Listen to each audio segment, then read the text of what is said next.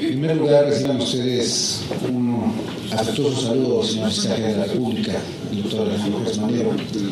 De igual forma, al señor subprocurador eh, de delincuencia organizada, el maestro Alfredo Bernal. Eh, este foro para nosotros significa una gran puerta para poder coordinarnos en los trabajos que llevamos a cabo. Como ustedes bien saben, y ustedes son especialistas en la materia, Obviamente, la trata de personas en nuestros días es la forma de esclavitud moderna. Este comercio ilegal es uno de los delitos que más lesiona y ofende a nuestra sociedad. Es un hecho que actualmente en nuestro sistema penal oral adversarial nos implica llevar a cabo investigaciones mucho más complejas. Bien decía la senadora de la Sierra, si sabemos en dónde están, ¿por qué no los detenemos? La cuestión aquí es que debemos realmente, como autoridad investigadora, tener todos los elementos de prueba suficientes para que estas personas que delinquen y que ofenden de esta forma estén dentro de los reglas. También es un hecho que, sin soslayar en ningún momento, eh, pues en este caso, la responsabilidad que tenemos nosotros como autoridad investigadora, es un hecho que también debemos de llevar a cabo todas eh, las diligencias pendientes de ese punto.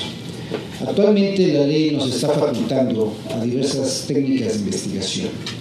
Pero estas técnicas de investigación debemos entender que nuestro marco eh, vigente nos da facultades concurrentes, tanto a las fiscalías estatales como a la Fiscalía de la República. Es por ello que él nos está obligando a mantener un trabajo mucho más coordinado y que agradecemos que así sea. Si no tenemos coordinación en las investigaciones, si no nos apoyamos entre fiscalías, el resultado nunca se va a dar. Dentro de la propia Fiscalía de la República, nuestra gran aliada es la FEBINTRA, así como las delegaciones de la propia institución en las diversas entidades federativas. En cuanto a la unidad de tráfico de personas menores y órganos del asedio, nosotros somos, vale la expresión, y hablando ahorita que acertadamente decía la senadora de la Sierra sobre comer concha con nata, somos la cereza en el. ¿Y por qué somos la cereza en el pastel? Una vez que tenemos todos los elementos que nos permitan establecer que existe delincuencia organizada, es cuando también participamos.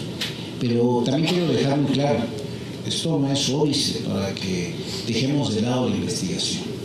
La propia WIPO, por el anacronismo que utilizamos, lleva a cabo investigaciones desde un principio Actualmente hemos tenido casos de éxito en Tlaxcala, hemos eh, pues, desarticulado eh, organizaciones que están trabajando lamentablemente en municipios como Tenancingo, el propio municipio de Tlaxcala. Pero no podemos olvidar que hay un corredor. En ese corredor se encuentra Tlaxcala, Veracruz, Puebla, Oaxaca. Que lamentablemente encontramos que la trata de personas no es nada más hacia adentro de nuestro territorio esa llega a nuestras fronteras. Y encontramos que lamentablemente nuestras víctimas se encuentran en ciudades como Houston, Nueva York, Atlanta. Toda esta situación también conlleva a tener una coordinación real con otras autoridades de carácter internacional. Actualmente tenemos este intercambio de información con países de Centroamérica como Guatemala, El Salvador, Honduras y también con Estados Unidos y Canadá ello nos permite tener un punto mucho más eh, factible en el resultado positivo de estas investigaciones. Pero es un hecho que, vuelvo a reiterar, si no tenemos una coordinación real en los tres órdenes del gobierno, así como dentro de los nuevos poderes eh, federales, legislativo, judicial y eh, en este caso el legislativo, el judicial, perdón, el legislativo nos abre sus puertas, no vamos a tener el resultado que la sociedad nos está exigiendo pero creo que peor aún, no podremos deber de frente a la cara al ciudadano que nos venga a recriminar porque no hemos hecho nuestro trabajo. Por eso es que para nosotros es muy importante este foro, porque nos va a permitir abrir estos cauces de comunicación, los que no se encuentran y los que ya se encuentran, poder fortalecerlos.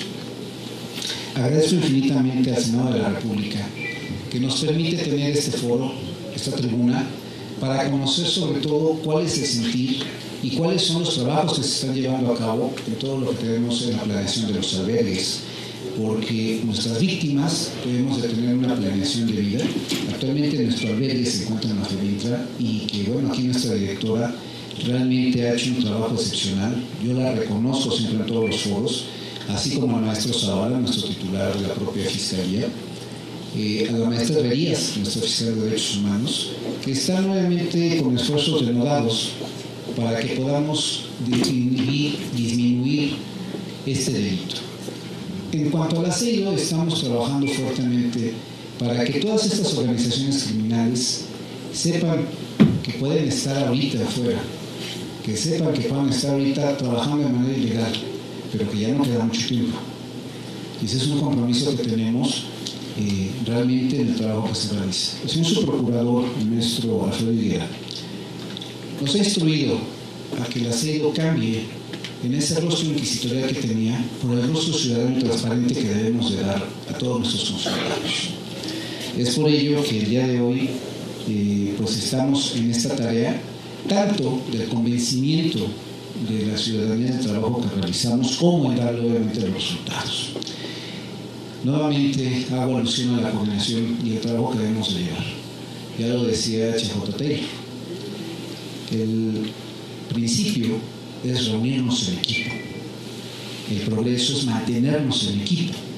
Pero realmente el resultado y el éxito lo vamos a mantener trabajando en equipo.